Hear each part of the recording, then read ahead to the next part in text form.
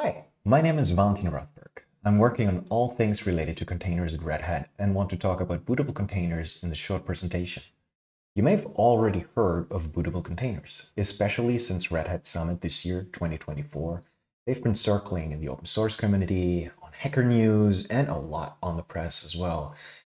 I believe that bootable containers will change how we think about the IT infrastructure of the future, so let's get to it. Over the last decade, OCI containers have become the de facto way to deploy a complete functioning Linux application. A large set of practices and tooling have evolved around them. Bootable containers are a modern, opinionated way of deploying, configuring, and managing immutable image-based Linux systems using those pre-existing practices and tooling. Just like ordinary application containers, you can build bootable containers by using existing container technologies such as Docker files and with existing tooling such as Podman, Docker, or BuildKit, and so on. You can further store these images on any container registry such as Quay.io, Docker Hub, the GitHub Container Registry, or any internal container registry you may have running on your network. Bootable containers for me are a natural evolution of container technologies. For over a decade, containers have evolved into an industry standard of bundling, shipping, and deploying applications. Bootable containers build on top of these existing technologies and extend containers to include the entire operating system, along with a Linux kernel to allow for a comprehensive container native workflow and user experience. A bootable container image ships the entire OS, the kernel, bootloader, drivers, well, everything you need to boot an entire system. The ultimate goal here is to install the contents of the bootable container image on a host. Updates to the host are also applied via bootable container images. That means that we pull updates from a standard container registry, just as we did for over a decade for application containers. I find that pretty, pretty exciting. So let's have a look at how to deploy and update these containers and the systems.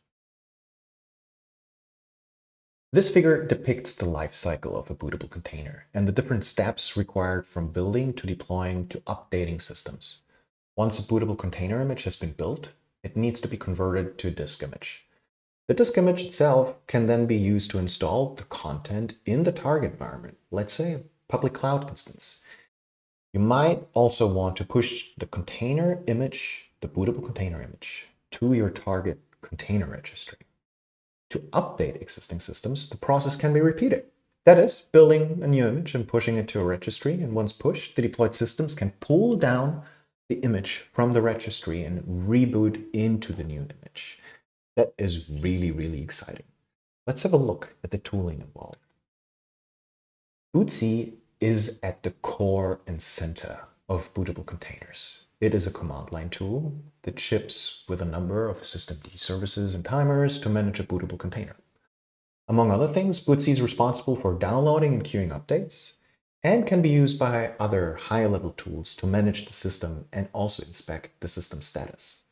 For that reason, bootc is an integral part of each bootable container image. There are several ways how a system can be updated. By default, bootc systems perform time-based updates via systemd timer. For event-based updates, the bootc fetch apply update service can be triggered, and manual updates can just be triggered by executing bootc upgrade and rebooting the system. In case an update goes wrong, bootc is capable of also rolling back to the previous known to work image. It's a typical seamless A-B update.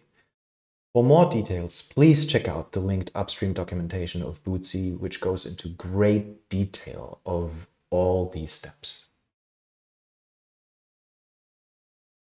bootc systems follow the concept of an immutable operating system. Apart from etc and var, all directories are mounted read-only once deployed on a physical or virtual machine.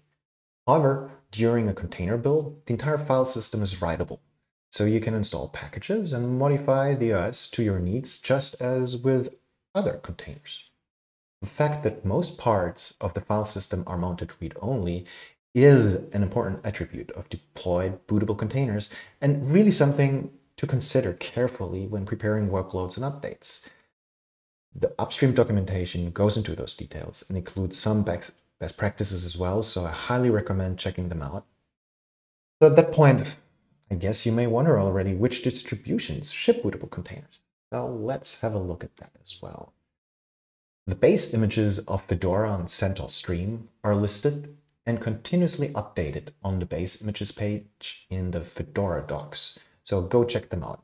When you have the slides, you can just click on Fedora, CentOS Stream, and Red Hat Enterprise Linux, and the link will guide you directly to the right, right place.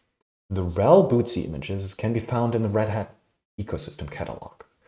Working with these requires a Red Hat account for sure, but you can get a no-cost subscription by joining the Red Hat Developer Program in just a few clicks. You further need to log into the Red Hat Container Registry and register your machine with Subscription Manager. If you are using Podman Desktop, which I highly recommend, you may install the Red Hat account extension, which automates most of the process. As mentioned before, bootable containers can be built with existing tooling such as Docker files, container files, and Podman.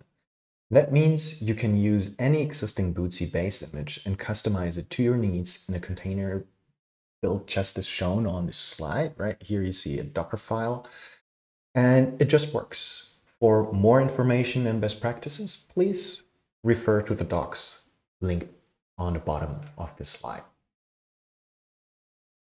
Updates for bootable containers happen in the form of pulling a new image and rebooting into it. But how do we install a fresh bootc system? While bootc supports installing a bootc container on top of an existing system, it is more common to convert a bootable container image into a so-called disk image, such as an ISO, a RAW, QCOW, to you name it, right? Just to provision a new system. You can convert bootable container images into a disk image with bootc Image Builder, which itself is executed inside a container. bootc Image Builder is a feature-rich tool that further enables you to inject users, manage SSH keys, and also define a partition layout. It's really powerful and I highly recommend to check out the docs upstream. Podman Desktop also ships with a bootc extension, which allows you to install and convert bootc images in just a few clicks. Highly recommended. For local testing, you may also find Podman bootc to be of use. It's another command line tool that automates the conversion of disk images or two disk images and spins up a VM that you can then SSH into. It's really, really, really convenient in a local dev test cycle on your workstation. At that point, we have learned the nature and the concepts behind bootable containers, from building on top of available bootc base images to testing them locally with Podman bootc to understanding how to update already deployed systems.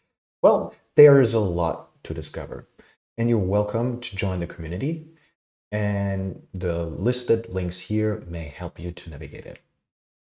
Thanks for listening.